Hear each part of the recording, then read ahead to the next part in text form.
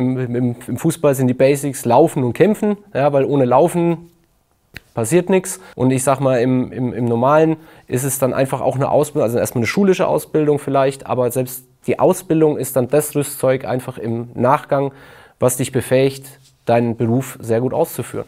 Und demnach eminent wichtig.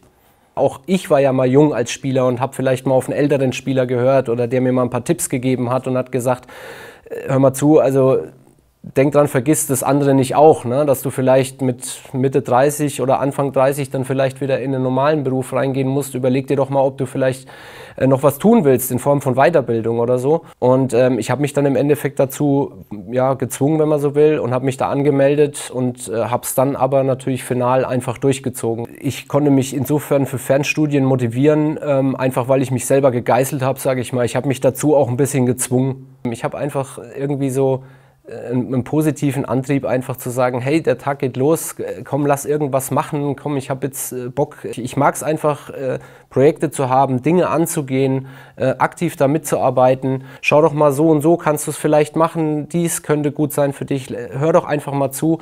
Einfach das für sich herauszufinden, Hilfe gerne immer anzunehmen, weil keiner von uns ist allwissend. Hilfe ist immer gut, auch bekommt, zu bekommen von außen. Und ansonsten einfach nur dranbleiben. Das Wichtigste ist wirklich dranbleiben. Niederlagen gehören zum Leben dazu, das ist immer so. Am nächsten Tag geht die Sonne trotzdem wieder auf. Die nimmt gar keine Rücksicht auf uns. Die geht trotzdem auf und, der, und die Kugel dreht sich trotzdem weiter. Die Frage ist, wie man mit Niederlagen umgeht. Wegstecken, weitermachen, immer positiv nach vorne gucken und einfach vor allen Dingen den Glauben an sich selbst nie verlieren. Das ist das Wichtigste, was es eigentlich überhaupt gibt.